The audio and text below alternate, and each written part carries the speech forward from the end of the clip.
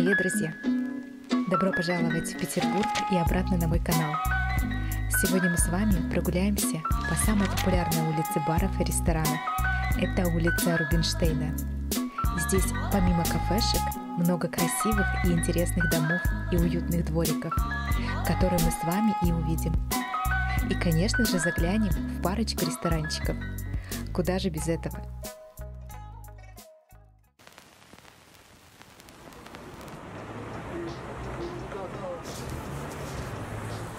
Начнем нашу прогулку с популярной площади «Пять углов».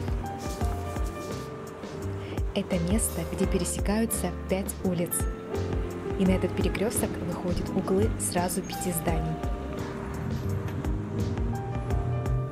И самое известное из них вот этот – доходный дом с башенкой и флюгером. Прямо сказочный домик.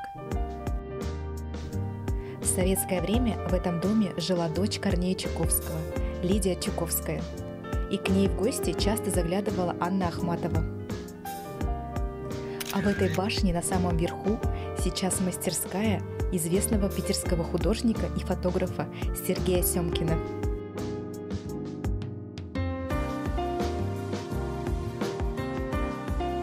А на пятом этаже здесь продается потрясающая двухэтажная квартира с большой мансардой – Ссылку я обязательно оставлю под видео.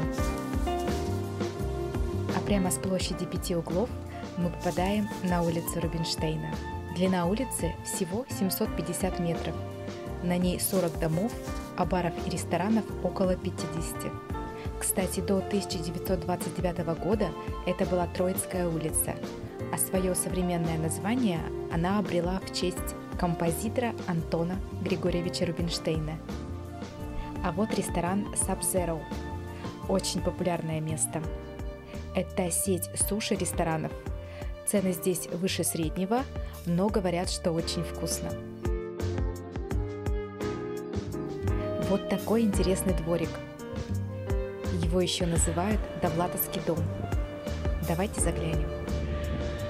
Это дом, в котором жил писатель Сергей Довлатов. Раньше до него здесь жили писатель Джон Рид, а затем артист Аркадий Райкин. Для меня оказалось загадкой, как эти плотно припаркованные машины выезжают. Я так э, и не поняла. Сегодня здесь продается около 8 квартир, от 25 миллионов до 38.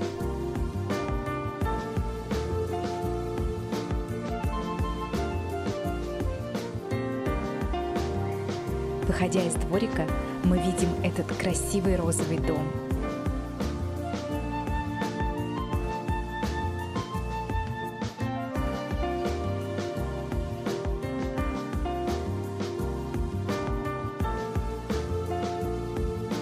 А на первом этаже расположена тоже очень популярная сеть пивных пабов «Моллис».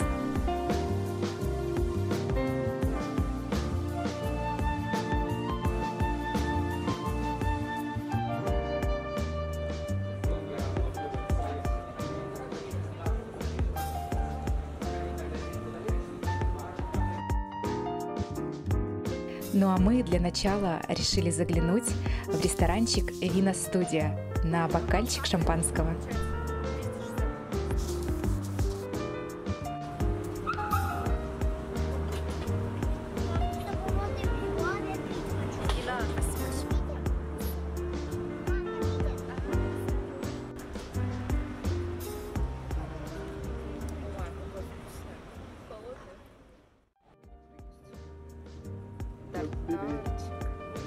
Я вот это буду. Так. Взяли такие закусочки к вину. А Называются пинчос.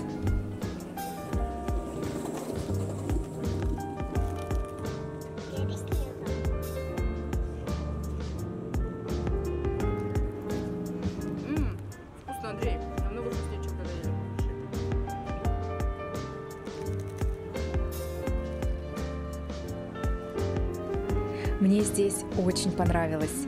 Закуски все вкусные, шампанское холодное, много вин по бокалам и недорогие. В общем, я рекомендую.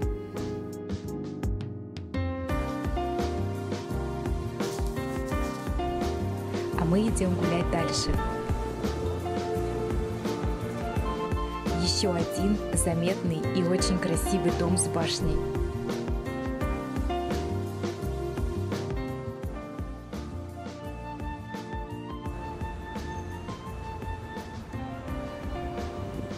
Сейчас в этом здании находится камерная сцена Малого драматического театра Европы.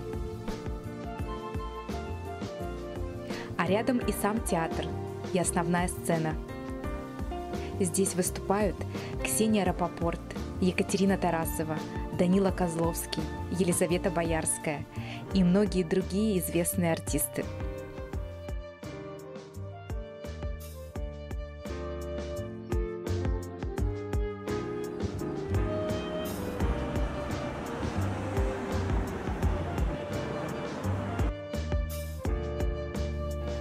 давайте заглянем в эту парадную.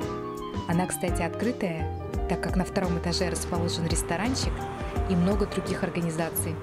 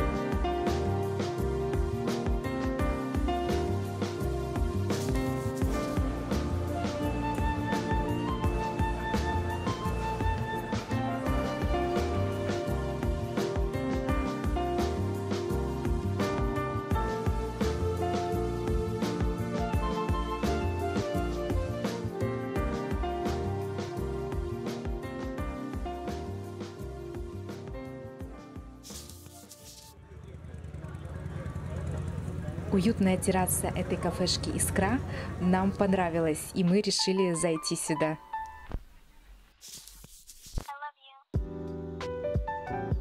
Скажу сразу, что понравилось далеко не все. Много блюд было в стопе. А вот лимонад очень вкусный. Искала такой же в магазинах и не смогла найти.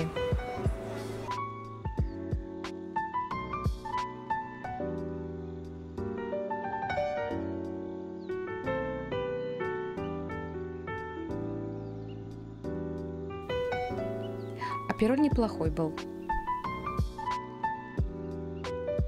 А вот свиные ребра были как будто разогреты со вчерашнего дня. Невкусные, не заказывайте. Что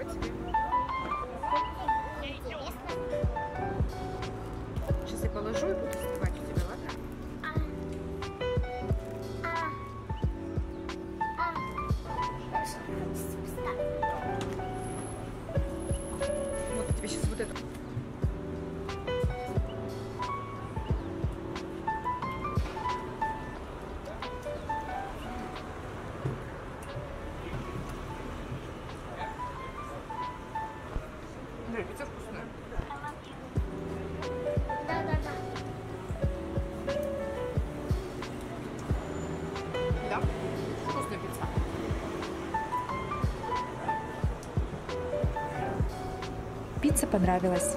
Можно заказывать.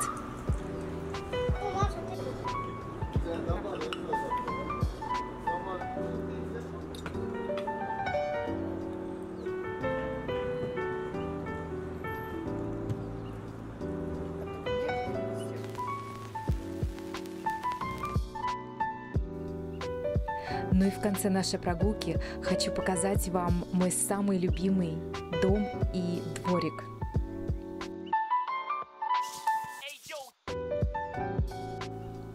Это Толстовский дом.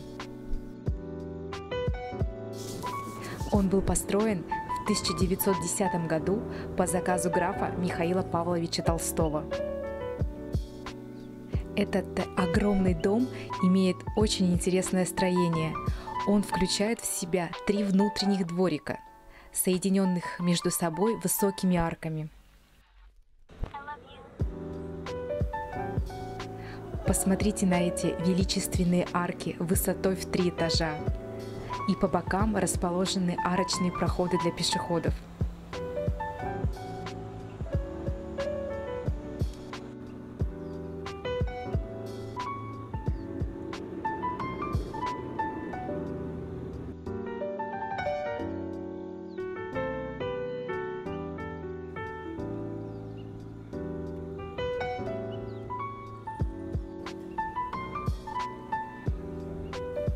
Этот дом был предназначен для людей с разным состоянием, поэтому и квартиры были от скромных до роскошных.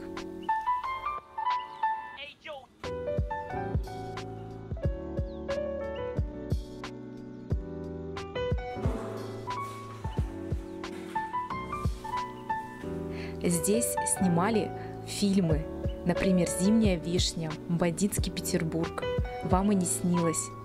А в сериале «Шерлок Холмс» Эти арки и проезды выполняли роль лондонских улиц.